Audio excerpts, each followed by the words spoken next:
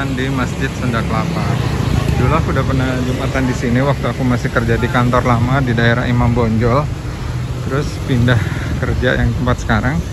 Udah lama nih nggak pernah ke sini. Alhamdulillah. Sekarang dapat kesempatan untuk ke Masjid Sunda Kelapa lagi. Di sini banyak orang dagangan, guys. Dagangan pernak-pernik juga, makanan juga banyak di sini. Dulu di sini terkenalnya banyak jualan nasi padang sama makanan dari Makassar. Nah. Ini dia masjidnya. Ini di sini juga yang terkenal ada tongseng enak nih guys katanya guys. Kita sebelum jumatan makan. Ya. Sebelum jumatan kita makan tongseng dulu. Tongseng kambing. Ini terkenal nih di Masjid Sunda Kelapa tongseng ini. Namanya tongseng apa pak? Tongseng Enggak. Hah? PJR. PJR. Iya. Oke. Enggak, coba apa kambing ada ayam ya? Saya tongseng kambing. Tongseng bro ya. Iya. Pedes ya. Ini tempat makan ya. Ini dia tempat makannya di sini di Masjid Sunda Kelapa kita lihat ya banyak makanan apa aja. Tuh ada bubur ayam, sate padang,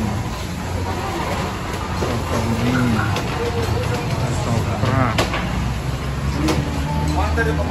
Tapi aku ingat dulu waktu ke sini pertama kali sama temen tuh dia bilang makanan enaknya di sini Makassar, makanan Makassar. Seru guys, harus dicobain ke sini. Nah, kalau makan tongseng minumnya ini enak nih guys. Es kelapa jeruk pakai gula Jawa ya, Mas? Iya mas. Bukan ini kan bukan biar gula ini bukan. Uh, banyak banget. Kelapa ini. Emang makanan di sini enak-enak loh guys. Enggak, bener, enggak bener. Benar, nggak pakai gelas nggak apa-apa pak, dikasih sama batoknya. Dikasih sama batoknya. Sendiri.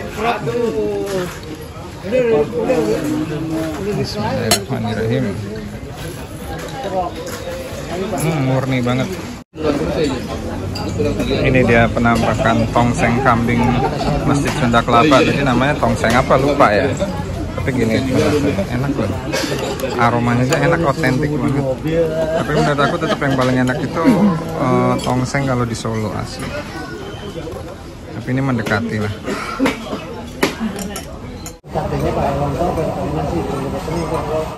Oh Yudi nggak makan ini, dia makan sate. Apa?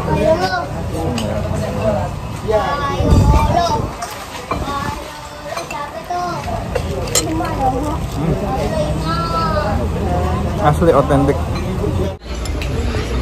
Ini ngeri banget sambalnya cabai. Ini dia sate. Sini dulu. Dulu yang jualan di dalam sini. Sekarang semua disuruh keluar, guys.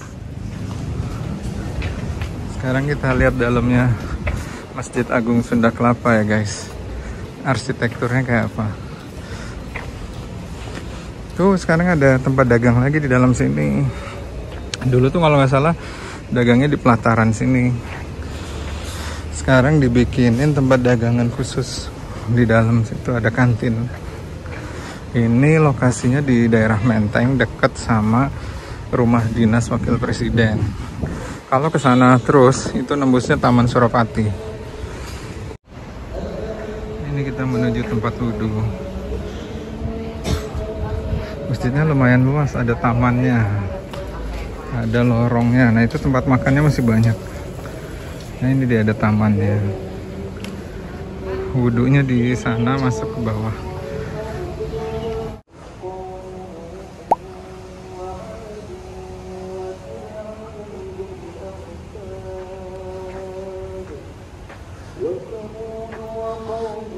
cuacanya gerimis guys. Nah, dulu aku nggak inget nih kalau ada taman ini. Sekarang udah taman-taman. wah makin deres. Ada liftnya. Nah ini dia. Ini lokasi wudhunya kamar mandi oh ada toilet khusus disabilitas. Terus ini ada ruangan basement.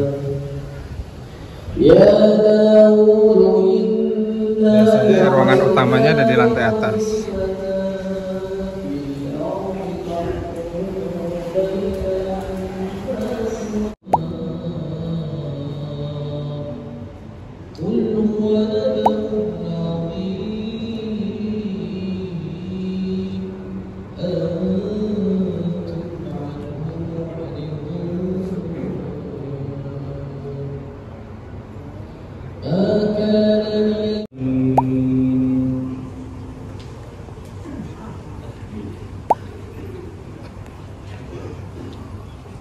Kira-kira begini ya guys gambaran arsitektur di dalam masjidnya.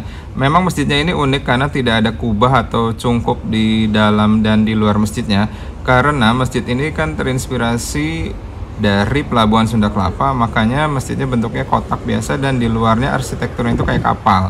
Terinspirasi dari pelabuhan Sunda Kelapa. Ini dia guys kamar mandi disabilitasnya juga sesuai standar jadi guys, kalau kamu lagi main di Jakarta, coba datang ke masjid ini ya. Jangan hanya ke masjid Istiqlal aja, karena ini juga termasuk dalam masjid yang bersejarah dan apa ya, masuk masjid yang harus dikunjungi kalau kamu main ke Jakarta. Alhamdulillah guys, udah selesai jumatannya, bisa ngerasain jumatan di Masjid Agung Sunda Kelapa. Ini masjid yang bersejarah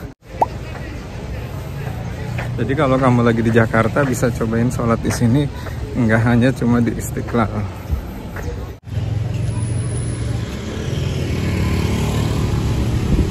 Nah, ini kondisi bubaran habis Jumatan di Masjid Sunda Kelapa.